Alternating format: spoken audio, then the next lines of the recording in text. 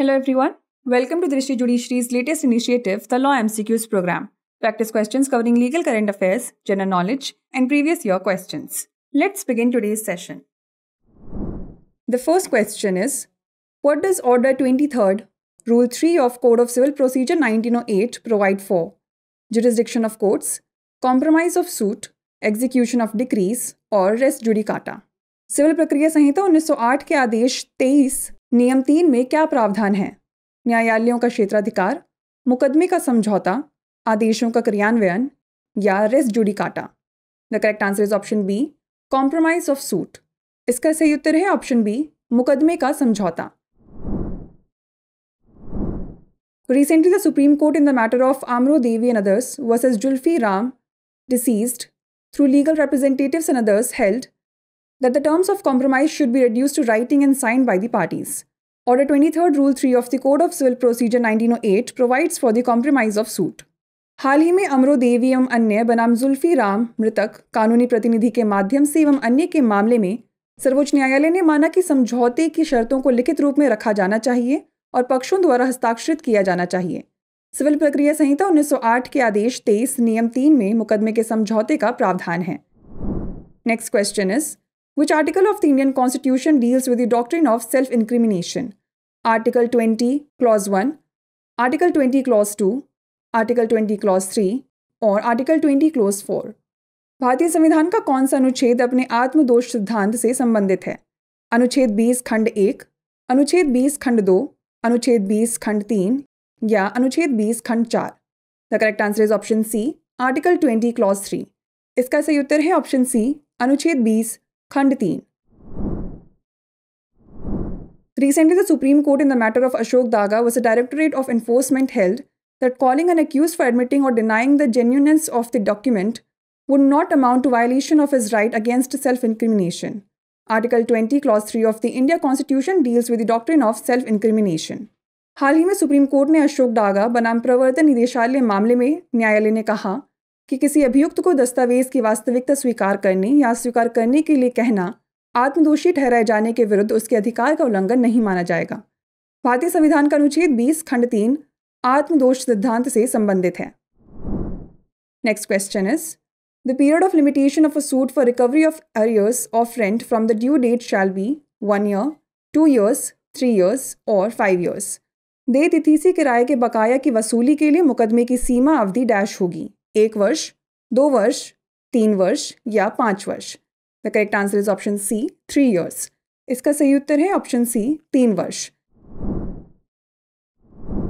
The period of limitation for a suit for recovery of arrears of rent from the due date is three years this specific provision is found under article fifty two of the scheduled of the Limitation Act nineteen sixty three बकाया किराए की वसूली के लिए मुकदमा दायर करने की समय सीमा नियत तिथि से तीन वर्ष है।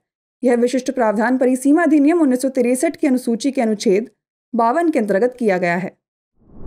Next question is preliminary decree can be pass in a suit dash for partition for possession and mean profit for partnership और ऑल ऑफ़ द अबव प्रारंभिक डिग्री डैश मुकदमे में पारित की जा सकती है, विभाजन के लिए, कब्जे और लाभ के लिए, साझेदारी के लिए या उपयुक्त सभी।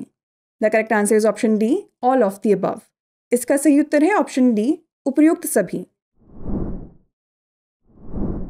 A preliminary decree under the Code of Civil Procedure 1908 can be pass in various types of suits where the code finds it appropriate this include suits for partition of property possession and mean profit partnership sale और redemption etcetera civil प्रक्रिया संहिता 1908 के अंतर्गत प्रारंभिक degree विभिन्न प्रकार के मुकदमों में पारित की जा सकती है, जहाँ न्यायालय इसे उचित समझे।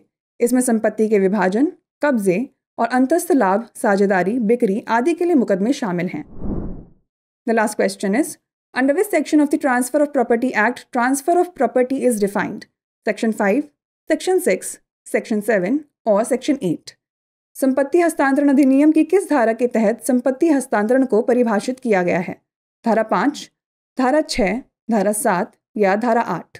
The correct answer is option A section five इसका सही उत्तर है ऑप्शन ए धारा पाँच। Section 5 of the Transfer of Property Act 1882 defines transfer of property.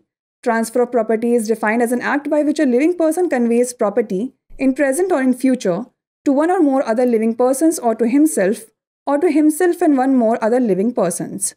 संपत्ति हस्तांतरण अधिनियम अठारह सौ बयासी की धारा पाँच में संपत्ति हस्तांतरण को परिभाषित किया गया है संपत्ति का हस्तांतरण को एक ऐसे कार्य के रूप में परिभाषित किया जाता है जिसके द्वारा एक जीवित व्यक्ति वर्तमान या भविष्य में एक या एक से अधिक अन्य जीवित व्यक्तियों को या स्वयं को या स्वयं और एक या एक से अधिक अन्य जीवित व्यक्तियों को संपत्ति हस्तांतरित करता है। Before we wrap up here's a question for you how many languages are included in the eight schedule of the Constitution of India eighteen twenty twenty two और ट्वेंटी फाइव भारतीय संविधान की आठवीं अनुसूची में कितनी भाषाएँ शामिल हैं? अठारह, बीस, बाईस या पच्चीस? इसका उत्तर हमें कमेंट सेक्शन में ज़रूर भेजिएगा। ऐसी और वीडियोस देखने के लिए लाइक शेयर और सब्सक्राइब करना ना भूलें। धन्यवाद। डियर व्यूवर्स अपने एग्ज़ाम की तैयारी को और बेहतर करने के लिए हमारे चैनल को लाइक शेयर और सब्सक्राइब करना ना भूलें।